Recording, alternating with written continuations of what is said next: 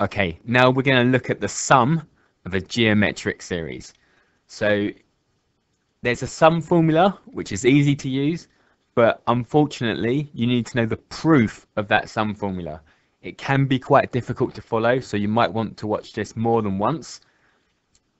The sum of n terms, so Sn, that's how we write the sum of n terms. So the sum of the n terms is a is the first term, AR, so you multiply by the common ratio, then you multiply by the common ratio again to get the next term, and so on. It goes all the way up to ARN minus 1. So ARN minus 1 is the last term of the series. So if we had 10 terms, it would be AR to the power of 9. If we had 20 terms, it would be AR to the power of 19. If we had 100 terms, AR to the power of 99. So that's what the sum is. The sum is adding all the terms up. But we need to make this into a formula. So the way we do it is we multiply every single term by r. It might not be clear why we're doing this right now, but it will become clearer. So we've multiplied every single term by r. So Sn is multiplied by r, which becomes r times Sn. A times R is AR.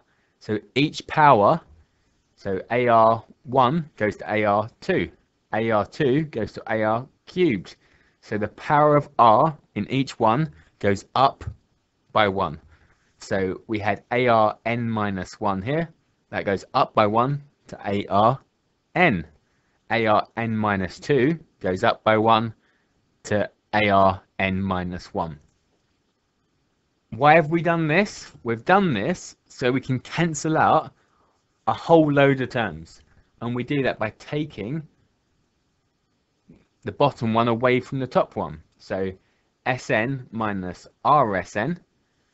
And we take away all of these terms. So we take away all of this from all of this. So if I take away this, take away this, take away this, take away this, take away this, take away this, we're taking away the whole of the bottom line from the top line. So what happens? Well, we had an AR on the top line. We take away an AR on the bottom line. So that cancels out. We had an AR squared on the top line. We take away an AR squared on the bottom line. So that cancels out. We will have an AR cubed there. We take away one from the bottom line. It cancels out we'll have an AR at n minus 3 there, minus 2. So we take away all of that. It all cancels out. So what is left? Sn minus Rsn on the left, and just A minus ARN on the right. So we take away all of those terms, and we're left with what looks like a much simpler formula. So we want Sn by itself, so what we do is we factorize that out. So we factorize Sn out of this side, which leaves us with Sn outside the bracket, 1 minus r inside the bracket. And we've also factorized on this side, taken a out of the bracket. So we've got a 1 minus r to the n on the right side. Then we just have to divide by 1 minus r and that gives us our final formula. So as I say, that's a proof you need to know. You need to be able to do that. But this is the final formula that we're going to use most of the time. Okay, find the sum of the first five terms of a series. So we're looking at a sum now. Find the sum of the first five terms of a series with first term 5, A is 5, and R is 3. So this time we're going to use the sum formula. So the sum of the first five terms, so S5 is equal to A5 1 minus R3 to the power of n, so to the power of 5, over 1 minus r, 1 minus 3. So we just type that into the calculator and that gives us 605. So the sum of the first five terms is 605. Okay, a geometric progression has the fourth term minus 32, fifth term 64. Find the sum of the first 10 terms. So this time we don't have the information to put straight into the sum formula. So we don't know what A is and we don't know what R is. So we're going to have to find them out first. So we're going to use the nth term formula to find out A and R and then we're going to use the sum formula to find the sum of the first 10 terms. So what we got here? Un is, so U4 is minus 32. U5 is 64. So U4 minus 32 is equal to A R n minus 1. 4 minus 1 is 3. And U5 is 64, which is equal to A R n minus 1, which is 4. We're going to divide the two equations again. So we divide, divide. 64 divided by minus 32. That will be minus 2. A's cancel. R4 divided by R3 is R. So R is minus 2. And we're going to substitute that back in. So we'll substitute it back in here. A minus 2 cubed. So minus 2 cubed is minus 8. Dividing both sides by minus 8 gives me A is 4. So we know A and R now. So we're going to use the sum formula to find S10, the sum of the first 10 terms. So the sum of 10 terms is A, which is 4, to the power of 1 minus R n. So 1 minus minus 2 to the power of n, to the power of 10, over 1 minus r. And we just type that into the calculator. And that gives us negative 1,364. Okay, here's some more questions. Pause the video, give them a go, and press play when you're ready. Okay, find the sum of the first five terms of a series. So using the sum formula, with first term 7, so A is 7, and R is 2, common ratio of 2, R is 2. So S5 equals A, so 7, multiplied by 1 minus r to the power of n, so 1 minus 2 to the power of 5, over 1 minus r, 1 minus 2. So we just type it into the calculator, and that gives us 217.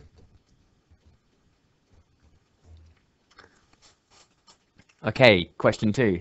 A geometric progression has a second term, u 2 equals 4.5, second term of 4.5, and a fifth term of 121.5. U5 equals 121.5. Find the sum of the first 10 terms. So we're going to find A and R first, and then we're going to use the sum formula. The second term, U2, U2 equals 4.5, and that is A r to the power of n minus 1, which is 1. The fifth term, 121.5, is a r to the power of n minus 1, which is 4. So I'm going to divide the two equations.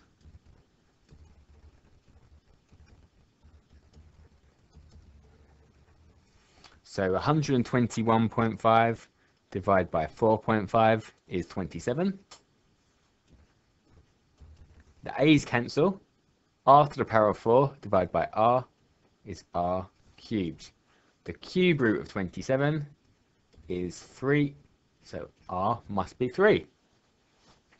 Substituting that back in, so 4.5 equals a times 3. Divide both sides by 3, so 4.5 divided by 3 is 1.5. So a is equal to 1.5. So now the sum of 10 terms, so using the formula, the sum of 10 terms is a 1.5 multiplied by 1 minus 3 to the power of 10 over 1 minus r, which is 3. So typing it into the calculator, that gives us 44,286. Okay, now we're going to look at the sum to infinity. So if r, so say if r is between minus 1 and plus 1, we get a sum to infinity. So eventually the numbers that we're adding on get so small that they are zero. So imagine you had a as 2 and r as a half. So you start off with 2 and then you half it. So you've got 1 and then you half it again, half. And then you keep halving it. The numbers that you're getting each time get smaller and smaller and smaller and so on. Eventually, you're adding on nothing at all. So if you're adding all these together, you're adding on nothing at all eventually, so you can get a sum to infinity when r is between minus 1 and plus 1. There's a formula for sum to infinity, and it is really easy. So if, imagine n is a really, really massive number, and we've got r raised to the power of a really, really massive number. So if you had a half to the power of 100. So if you had half to the power of 100, you're going to get a really, really small number, 0 0.00000. So as we keep increasing it, eventually this here, r to the power of n, will go to 0. So if you imagine that this is 0, there's nothing there, what formula have you got left? So the sum to infinity is 1 times a, which is a over 1 minus r. So the sum to infinity is a over 1 minus r. So here's a question. Find the sum to infinity of a series when a is 10 and r is 0.2. So the sum to infinity is a, which is 10, over 1 minus r, which is 0.2. So we just type that into the calculator. So 10 divided by 1 minus 0.2, and that gives us 12.5. So the sum to infinity here is 12.5. Okay, here's another question. Have a go at this one. So we've got the sum to infinity is a 25 over 1 minus r 1 minus 0.25 so 25 over 1 minus 0.25 and that gives us 100 over 3 33.3 recurring or 100 over 3